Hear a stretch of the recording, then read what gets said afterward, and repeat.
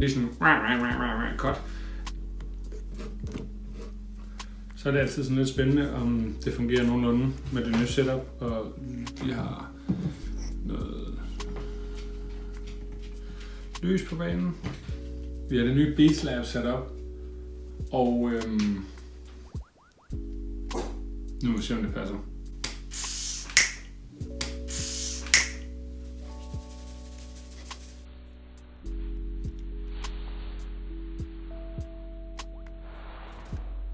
Fedt nok. Jamen, det er jo egentlig fordi, jeg har fået sindssygt meget skæld ud af et par af pigerne i min 4. klasse, fordi det er jo sådan her, hvis man har en YouTube-kanal, så er man åbenbart forpligtet til at øh, lægge op, og hvis man ikke er aktiv, så skal man i hvert fald huske at sige det. Der er jo gået sindssygt lang tid, siden jeg opdaterede sidst, så jeg prøver ligesom lige at komme lidt i gang, og igen, altså, vi har et øh, review, øh, Nike Cortez'en, der kom, øh, samarbejde med Kendrick Lamar,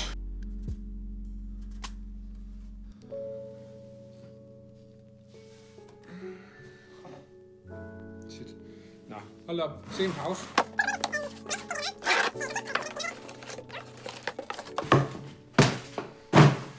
Okay.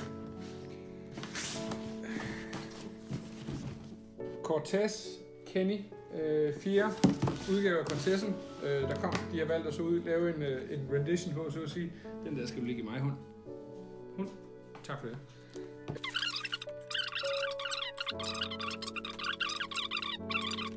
Vi har lidt øh, Nike ACG, der kom ud der, og Jeg blev kæmpe forelsket i den her, fordi det minder mig sindssygt meget om de her tegninger fra øh, Sean Wotherspoons release.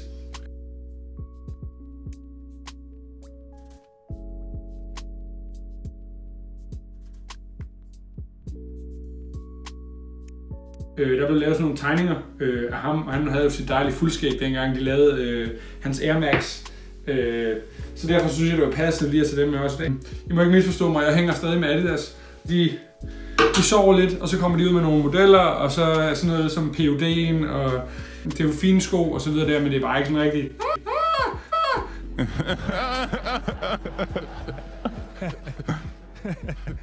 Det er sådan, cut.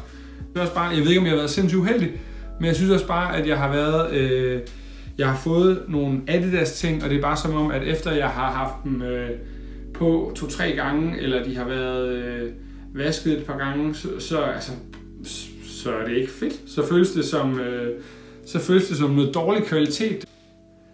Øh, så er der også det der med, som man kan sige, det som der måske var det, noget af det, det mest ventede release for mig overhovedet i år, det var så det her øh, Adidas og Dragon Ball øh, arrangement, specielt som Goku, øh, var selvfølgelig den, den mest eftertragtede, som jeg sindssygt gerne ville have, og det var bare ikke til at få. Altså den var udsolgt på 10 sekunder eller sådan noget der, og det er ikke sådan, altså jeg skal ikke sidde og brokke mig øh, over en sko, bare fordi jeg ikke får den, det er ikke sådan, det hænger sammen. Der er rigtig mange dejlige fede sko, som jeg godt kunne tænke mig, som jeg ikke har fået.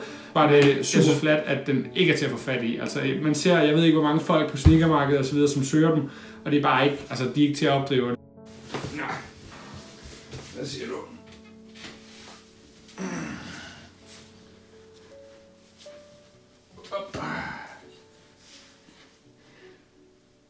Dagens gæst i studiet, hun Koldgaard, et år og tre måneder gammel, og træt af sin far.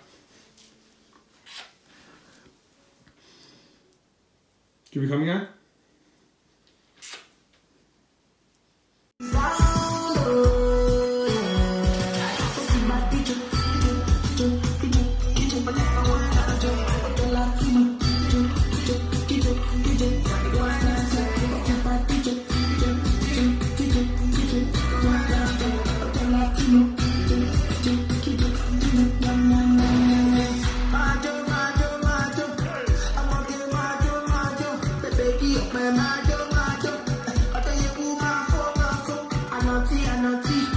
anọchie lele anọchie somebody pepe akọji mami wọn ká kí ni wọn tẹ sí i.